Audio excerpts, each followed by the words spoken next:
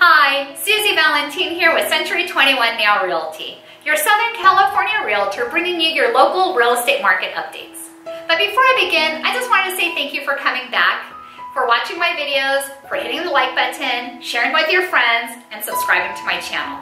So now let's begin. In May 2018, Perris, California currently has 147 homes for sale, and 119 are in escrow. Last month, in April 2018, there were 82 homes sold, ranging in price from 177,500 to $650,000. In this slide, you will see the number of homes sold in Perris, California between January 2014 to December 2017. We see the housing market remaining steady.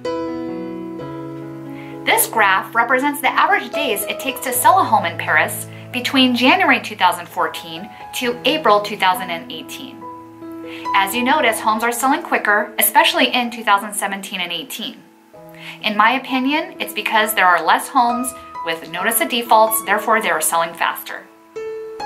This chart is my favorite chart because it shows the average sales price on homes sold in Perris between January 2014 to April 2018. It is climbing and looks very healthy. If you're interested in selling your home and would like an in-depth market analysis, please give me a call. Suzy Valentin, 951-907-4020. And please, hit the like button if you like this video, share it with your friends, and subscribe to be up to date with your local real estate market.